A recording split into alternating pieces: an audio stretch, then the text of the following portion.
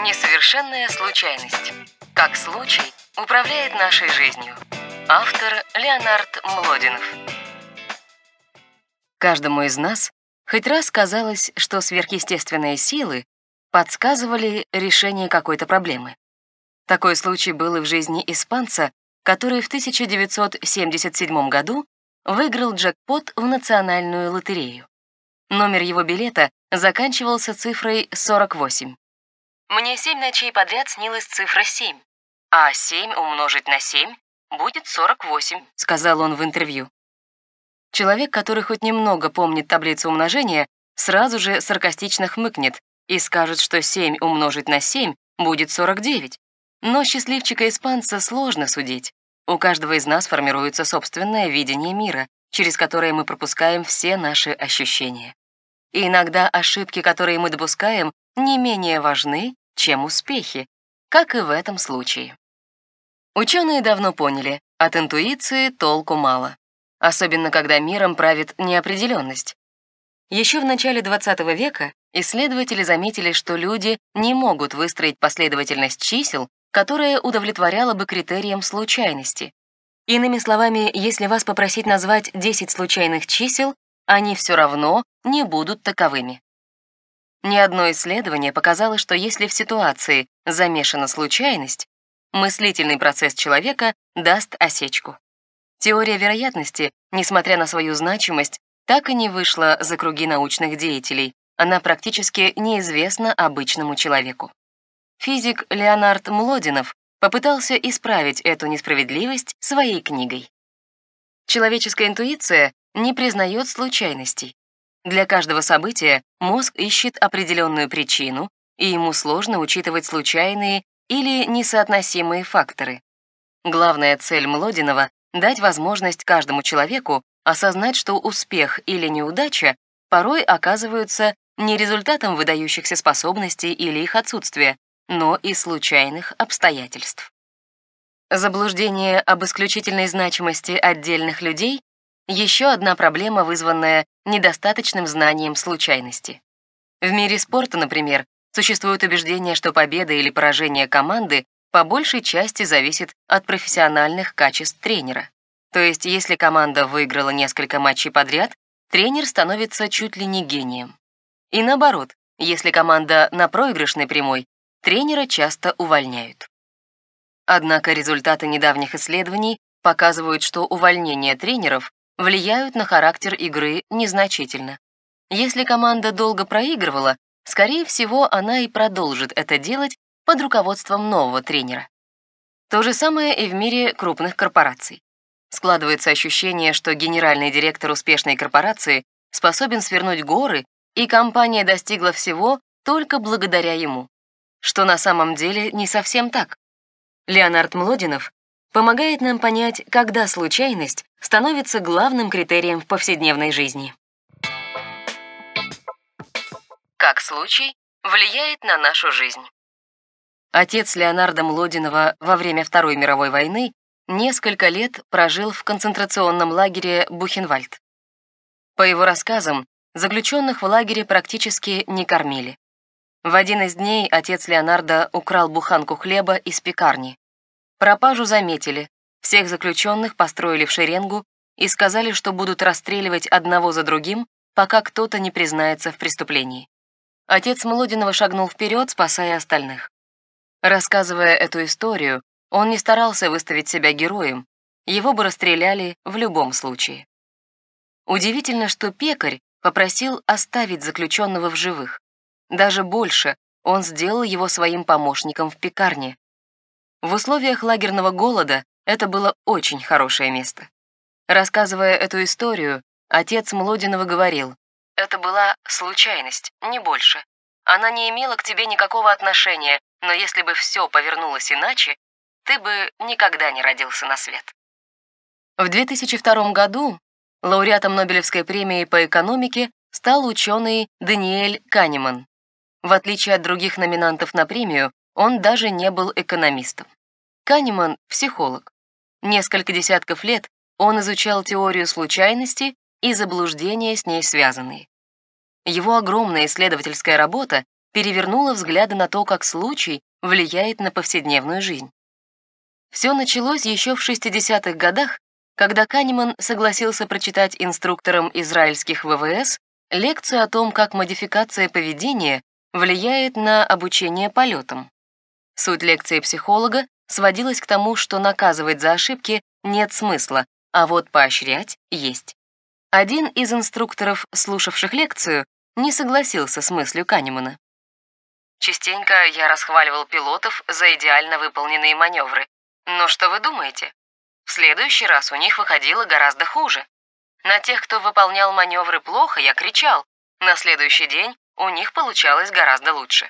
Так что не надо рассказывать мне сказки о том, что поощрение способствует повышению качества работы, а наказания нет. По своему опыту знаю, что это не так, сказал инструктор. Многие из тех, кто сидел в кабинете, согласились с мыслью инструктора.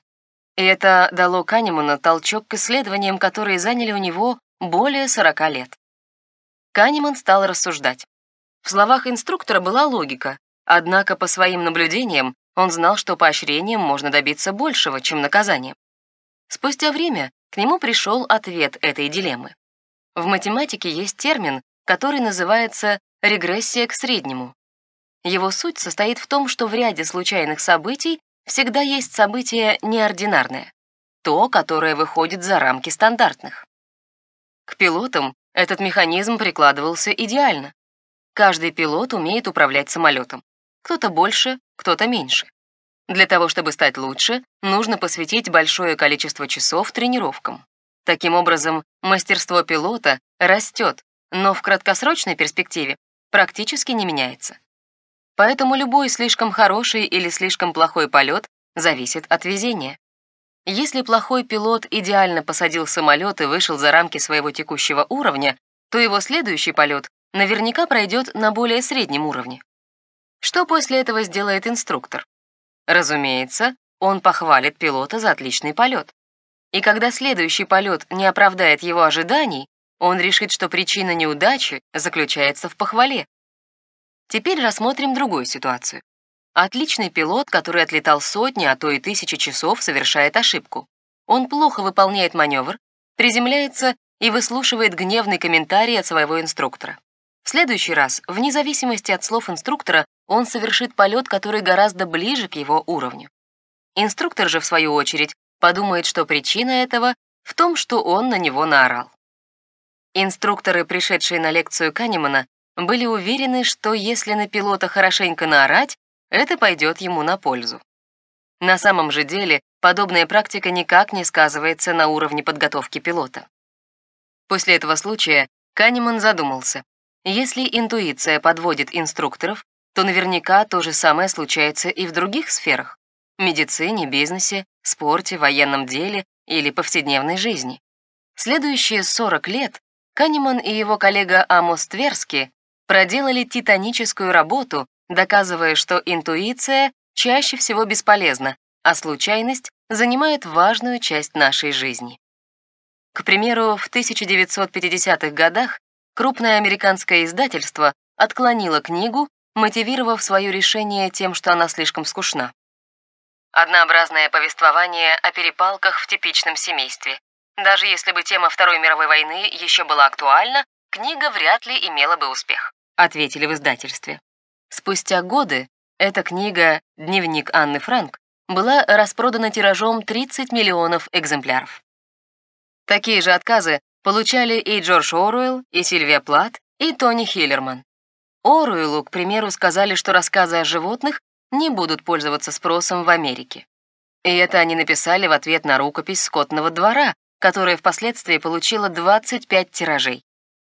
Вот почему бизнес-книги и статьи пестрят одним и тем же советом. Не сдавайтесь. Между успешным романом и никому не нужной рукописью может быть небольшой промежуток времени и потраченных усилий. Но могут быть и отказы десятков издательств.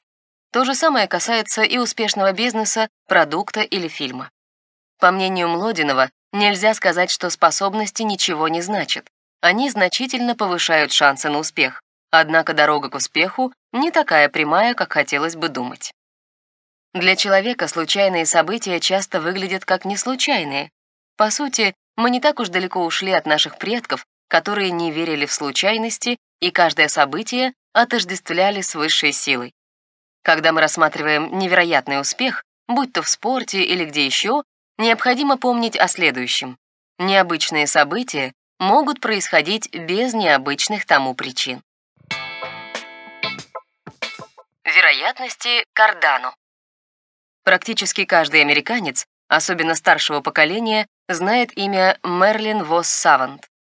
Уже несколько десятков лет в книге рекордов Гиннесса она значится как один из самых умных людей на планете. Ее коэффициент интеллекта равен 228 пунктам. С 1986 года она ведет рубрику «Спросите Мерлин» в журнале «Парад». Популярность рубрики взлетела до невероятных высот в 1990 году, когда Мерлин прислали следующую задачу. Вы участник телевикторины. Ведущий предлагает вам открыть одну из трех дверей. За одной из них находится машина, за двумя другими — по козе. Вы выбираете одну из дверей, а ведущий, который знает, где находится машина, открывает одну из двух оставшихся. Там — коза. Ведущий предлагает участнику изменить свое решение и выбрать вторую из оставшихся дверей. Выгодно ли вам сменить дверь? Кажется, что задача проста. Остаются две двери. Участник не знает, за какой из них машина, поэтому вероятность правильного выбора составляет 50%. Соответственно, менять свое решение бессмысленно.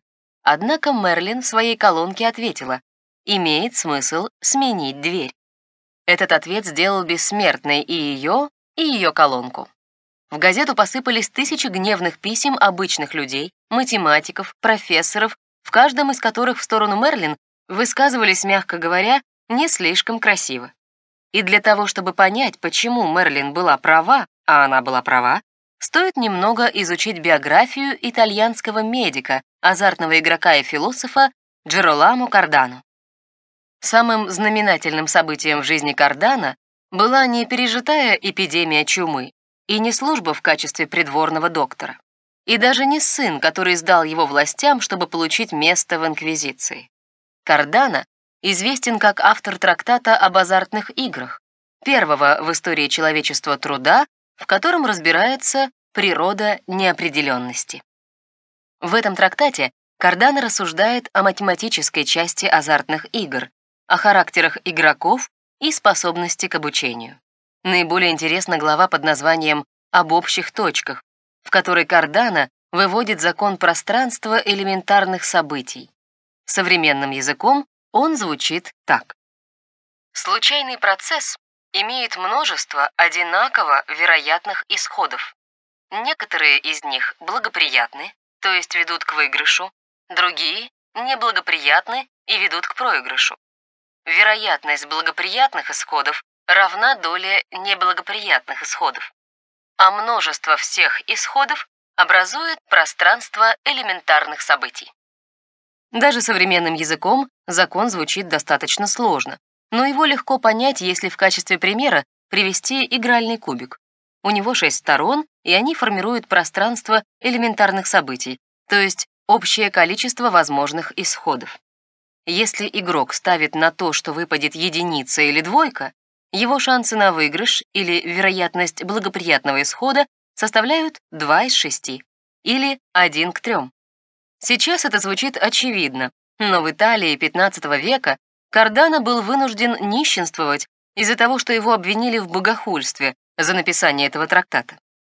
Теперь можно вернуться к задаче Мэрилин. Участник телевикторины выбирает одну из трех дверей. За какой из них приз он не знает. Соответственно, его шансы на победу составляют 33% или один из трех.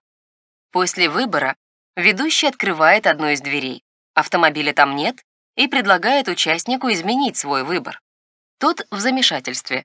Смысла менять нет, ведь ничего не изменилось. Но на самом деле кое-что изменилось. Общее количество возможных исходов теперь не 3, а 2. Соответственно, и вероятность угадать дверь составляет не 33, а 50%.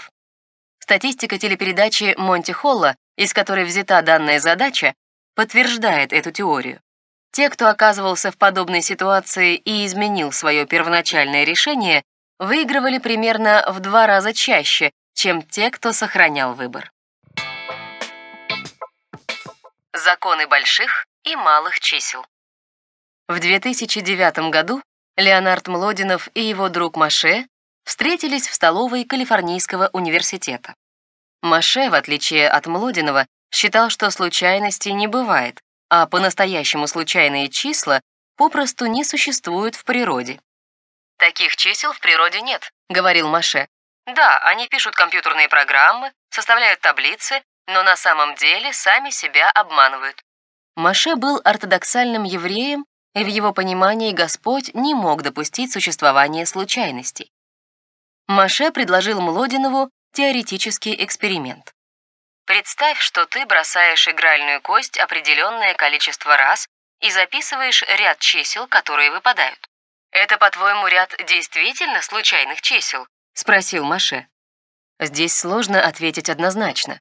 С одной стороны, при совершенных условиях числа будут случайными.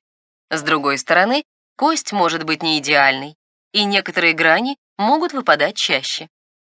В 1947 году ученые из компании Rand Corporation решили собрать таблицы случайных чисел для нахождения приблизительных решений уравнений.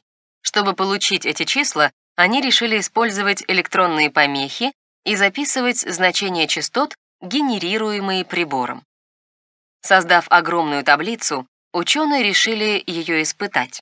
После серии тестов выяснилось, что в таблице есть искажения, и некоторые числа встречаются чаще остальных. Прямо как у игральной кости Маше. Таблицу назвали «Миллион случайных чисел». Название было немного громче, чем реальная сущность таблицы. В том, что случайности происходят гораздо реже, чем мы думаем, считал и англичанин Джозеф Джаггер. Он работал инженером-механиком и знал, что даже самый совершенный механизм может быть несовершенным. Он решил не только доказать свою гипотезу, но и заработать на этом. Джаггер отправился в Монте-Карло, нанял шестерых помощников и отправил их в шесть крупнейших казино города. Каждый из них в течение недели записывал все числа, выпадавшие на рулетке. В теории, если рулетка идеально уравновешена, то числа выпадают с одинаковой вероятностью. Прошла неделя, и Джаггер закончил анализ всех данных. Оказалось, что у пяти рулеточных колес действительно не было никаких отклонений. Зато у шестого несколько чисел выпадали чаще других. 7, 8, 9, 17, 18, 22, 28, 29. Джаггер отправился в это казино и играл там до вечера. Его усилия окупились с лихвой. К закрытию казино он выиграл более 70 тысяч долларов. К четвертому дню у него скопилось уже 300 тысяч, а сотрудники казино искали способ избавиться от удачливого игрока. Они понимали, что-то не так, но возможности доказать это у них не было. На пятый день Джаггер начал проигрывать. Он ставил на те же числа, но ошибался гораздо чаще. Инженер не мог понять, в чем дело, пока не вспомнил о крошечной царапине на рулеточном колесе, за которым он играл. Проводя столько времени за одним столом, он смог рассмотреть устройство во всех подробностях. На пятый день царапины уже не было, и Джаггер понял, что управляющие казино поменяли колеса. Он прошелся по зданию казино и нашел ту самую рулетку. В этот день его выигрыш достиг уже полумиллиона долларов. Сотрудники казино поняли, что удача Джаггера зависит от данного колеса и стали менять числа на рулетке каждые несколько игр. Джаггер снова начал проигрывать и решил покинуть казино. Правда, не с пустыми руками. С собой он унес 325 тысяч. В пересчете на сегодняшний курс эта сумма равняется 5 миллионам долларов. Как определить вероятность возникновения ошибок? Впервые необходимость научиться определять ошибки возникла в конце XVI века. Тогда начали развиваться астрономия и экспериментальная физика, и ученым понадобились новые способы проводить теоретические исследования. Усилия ученых были потрачены не напрасно, и в этом же веке возникла новая область науки — математическая статистика. Сейчас статистические методы используют не только в науке, но и в повседневной жизни. Ими проверяют эффективность медицинских препаратов, популярность политиков, заинтересованность покупателей в новом продукте. Статистические методы построены в основном на нахождении среднего числа из определенного количества исследований. В средние века было иначе. Ученые проверяли свои эксперименты несколько раз, однако в качестве результата брали не среднее значение, а наиболее подходящее им самим. Более того, указывать в результатах исследований несколько отличных друг от друга значений считалось признаком некомпетентности. Одним из первых, кто предположил, что для разных типов измерений характерны одни и те же погрешности и ошибки, был Даниил Бернулли. Впоследствии эта концепция получила название «закон случайного распределения ошибок». Математическая функция, описывающая закон, называется колоколообразной кривой, нормальным распределением, гауссовой кривой. На графике эта функция выглядит как колокол, обозначает следующее. Если сделать определенное количество замеров, то большая часть результатов будет примыкать к среднему значению и собираться у пика колокола. Чем сильнее результат отличается от усредненного значения, тем он реже и, соответственно, удаленнее от пика. Весь набор этих результатов сформирует на графике рисунок, похожий на колокол. Недопустимой погрешностью в статистике считается 5% и выше. Когда исследовательское агентство сообщает средствам массовой информации результаты опроса, они уточняют, что предел погрешности составляют плюс-минус 5%. Это значит, что если повторить опрос определенное количество раз подряд, то его результат будет в пределах 5% от истинного значения вычисляемой величины. Размер погрешности также зависит и от выборки. Допустимый процент для выборки в 100 тысяч человек не будет корректным для выборки в 10 тысяч, 1000, 100 человек и так далее. Математический хаос. Статистика нередко разбивала судьбы людей. В 60-х годах прошлого столетия уроженка Франции Жанна Кальмен нуждалась в деньгах.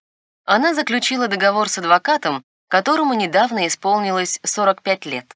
По договору адвокат был обязан выплачивать Кальмен небольшое ежемесячное пособие. Она же, в свою очередь, завещала ему свою квартиру после смерти. Для адвоката условия были замечательными. Кальмен недавно исполнилось 90 лет, то есть старушка прожила на 10 лет больше среднего срока продолжительности жизни по Франции. Эту информацию адвокат знал. Однако не знал он другого, что не так важна средняя продолжительность жизни, если человеку уже 90 лет. Более важно то, что, исходя из прожитых 90 лет, средняя продолжительность жизни увеличивается на 6 лет каждые 10 лет. Спустя 10 лет адвокат наверняка отчаялся и подыскал себе другое жилье, так как Жанна Кальмен отпраздновала сотый день рождения и чувствовала себя довольно неплохо. Затем прошло еще 10 лет, и Кальмен исполнилось 110 лет, а адвокат, на чьи деньги она жила, умер в возрасте 67 лет. Безусловно, это случай, выходящий за стандартные рамки, но на основании статистики можно вывести закономерности. Когда ученые XIX века начали применять статистику для анализа повседневной жизни, они обнаружили, что казавшиеся раньше неизмеримыми величины на самом деле не так хаотичны, как кажется. Средние века Использование статистики для измерения данных о людях считалось недостойным. Болезни, их влияние на жизнь и смерть — все это считалось отмеренным свыше, и попытки влиять на божественное решение или анализировать его были кощунством. Какая разница, от чего умер человек? От воспаления легких, чумы или ножа грабителя в подворотне? Фатализм был во главе угла. Однако со временем статистику начали применять во всех науках и сферах деятельности, к примеру, в 1840 году двоюродный брат Чарльза Дарвина Фрэнсис Гальтон начал использовать ее в биологии. Будучи богатым наследником, он мог не заботиться о деньгах, поэтому все свободное время посвящал наблюдениям. Он оценивал степень привлекательности девушек на улицах разных городов, количество движений, которые делают студенты на лекциях, и отличительные черты в отпечатках пальцев. Его последняя работа нашла свое место в Скотланд-Ярде. С 1901 года детективы начали использовать методологию Гальтона для поимки убийц. Гальтон также вычислял продолжительность жизни правителей и церковных служащих высших чинов. Он выяснил, что продолжительность их жизни никак не отличается от продолжительности жизни других людей, а значит, молитвы в этом плане влияют не на многое. Свое первое выдающееся открытие Гальтон совершил в 1875 году. Тогда он раздал семи своим друзьям пакетики со стручками горошка. Затем друзья вернули ему семена уже со следующих урожаев. И тогда Гальтон заметил, что семена, родившиеся от семян с небольшим диаметром, больше своих родителей. Впоследствии Гальтон провел аналогичный эксперимент, но уже с людьми. Такая же тенденция была и там. Дети, чьи отцы и матери при рождении были меньше других, оказывались выше своих родителей. Этот феномен Гальтон назвал регрессией к среднему. Благодаря этому открытию Гальтон понял, что события, которые не попадают под регрессию к среднему, рано или поздно выходят из-под контроля. Например, у высокого человека рождается сын, который выше его. Затем ситуация повторяется вновь и вновь. Наконец, спустя определенное количество поколений, получится гигант. Таких казусов не случается из-за регрессии к среднему. Поэтому гениальным родителям не стоит быть уверенными, что их ребенок получится гением. У гольфиста, который входит в список лучших мировых игроков, вполне может быть заурядный сын, не увлекающийся спортом и так далее. Млодинов считает, что в случайных изменениях часто присутствует логика, но в то же время они не всегда наполнены смыслом. Важно разглядеть смысл там, где он есть, но и не менее важно не пытаться выудить его оттуда, где его нет походкой пьяного. Ум, которому были бы известны на какой-либо данный момент все силы, одушевляющие природу, и относительное положение всех ее составных частей, если бы вдобавок он оказался достаточно обширным, чтобы подчинить эти данные анализу, обнял бы в одной формуле движение величайших тел Вселенной наравне с движениями легчайших атомов. Так писал в 1814 году известный физик Пьер Симон де Лаплас. Лаплас был детерминистом, то есть считал, что будущее Вселенной, науки и каждого отдельного человека можно предсказать по его состоянию в текущий момент. Например, у каждого человека есть набор качеств, произошедших событий и ситуаций. По мнению детерминистов, всю эту информацию можно превратить в показатели и затем просчитать и предсказать будущее. Разумеется, этот пример больше похож на научную фантастику, но ученые уже давно научились предсказывать другие явления, к примеру, погоду. Впервые это сделал американский метеоролог Эдвард Лоренс. В 60-х годах он попытался проверить теорию Лапласа и загрузил в свою машину, представляющую собой элементарный аналог компьютера, данные об атмосферных условиях прошлых лет. Лоренс рассчитывал, что компьютер дополнит эти данные недостающей информацией и произведет нужные расчеты. Однако все пошло не так. Машина Лоренца брала данные и выдавала нелогичные результаты. Оказалось, что компьютер мог хранить числа с точностью до третьего знака после запятой, а показатели, которые Лоренц загружал в машину, были с шестью знаками после запятой. Даже такая минимальная погрешность сказалась на результатах исследования настолько сильно, что они были бесполезны и далеки от реальности. Лоренс не смог предсказать погоду, но открыл явление, которое получило название «эффект бабочки». Согласно определению эффекта, даже такое минимальное явление, как взмах крыльев бабочки, способно оказать влияние на погодную ситуацию в мире. Определение кажется абсурдным, как если бы вам сказали, что одна выкуренная сигарета с утра способна изменить вашу жизнь в лучшую или худшую сторону. И все же такие события случаются. Именно их мы связываем с работой интуиции или какой-то высшей силы. Вы опоздали на автобус и встретили на остановке свою будущую жену. не вышли на работе на обед и каким-то чудом получили контракт, которого добивались последние полгода. Жизнь общества, в отличие от науки, не настолько предсказуема и редко поддается вычислениям. Млодинов называет это явление «походкой пьяного». Это модель, описывающая нашу жизнь, которая, несмотря на статистические закономерности, все равно не поддается предсказаниям. Иными словами, все, что касается нашей жизни, работы, отношений и прочего, сильно зависит от случайностей. По мнению Млодинова, люди не замечают влияния случайностей на свою жизнь, потому что всеми силами стараются видеть то, что хотят видеть. Другими словами, мы измеряем успешность актера величиной его таланта, состояние миллиардера лишь его хваткой и навыками, популярного писателя его невероятными способностями. Автор советует учиться не принимать решения на основании интуиции. По его мнению, стоит осмыслять качество людей, последствия и параметры ситуации и лишь после действовать. Зачастую наше ясное представление о неизбежности всего лишь иллюзия. Я твердо уверен, что мы в состоянии перестроить ход наших мыслей перед лицом неопределенности, утверждает Млодинов. Когда мы пытаемся истолковать те или иные события, то часто забываем о случайностях. Но как только мы понимаем их природу, жить становится проще. Наличие гениальных способностей не гарантирует успеха, равно как и привлекательная внешность не так уж сильно увеличивает шансы стать кинозвездой.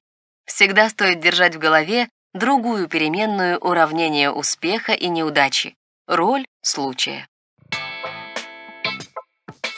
Заключение. Миром правит неопределенность. Многие исследования показывали, когда в ситуации замешана случайность, человеческий мозг дает осечку. Выводы Млодинова строятся на десятилетиях исследований Даниэла Канемана и его коллеги Амоса Тверски. Ученые изучали, как случайные события влияют на жизнь человека и, что более важно, как люди на них реагируют. За свою работу Канеман и Тверски получили Нобелевскую премию. По мнению Млодинова, между успешным и неуспешным человеком лежат не только годы работы и потраченных усилий, многое решает случай. Вот почему бизнес-книги и статьи пестрят одним и тем же советом — не сдавайтесь. Среди ученых и математиков особым уважением пользуется Джероламо Кардано, итальянский медик и философ, который одним из первых решил разобраться в природе неопределенности. Его трактат об азартных играх, несмотря на неточности и размытые формулировки, по сути, дал рождение теории вероятности. В трактате Кардано вывел основополагающий закон случайностей, закон пространства элементарных событий. Его легко понять, если в качестве примера взять игральный кубик. Его шесть сторон формируют пространство элементарных событий или общее количество исходов. Любая из выпавших сторон благоприятный или неблагоприятный исход. Если игрок ставит на то, что выпадет единица или двойка, его шансы на выигрыш или вероятность благоприятного исхода составляют 2 из 6 или 1 к 3. Не менее важна при определении возможности случайных событий математическая функция, которая называется колоколообразная кривая. Названа она так из-за того, что на графике образует фигуру, похожую на колокол. Если сделать n количество замеров, то большая часть результатов будет примыкать к среднему значению и собираться у пика колокола. Чем сильнее результат отличается от усредненного значения, тем он реже и, соответственно, удаленнее от пика. В 1875 году биолог Фрэнсис Гальтон сделал еще одно важное открытие. Он открыл феномен под названием регрессия к среднему любое событие возвращается к своему усредненному значению. Под регрессию к среднему попадают любые природные события, иначе рано или поздно они бы выходили из-под контроля. Например, у высокого человека рождается сын, который выше его. Затем ситуация повторяется вновь и вновь. Наконец, спустя определенное количество поколений, получится гигант. Финальная мысль Млодинова сводится к тому, что стоит отказаться от интуиции и начать верить в случайности. Это веское заявление учитывая то, что они случаются чаще, чем нам кажется, и их даже можно измерить. Млодинов считает, что к успеху приводят не только исключительные способности, связи и гениальность, но и случайные события.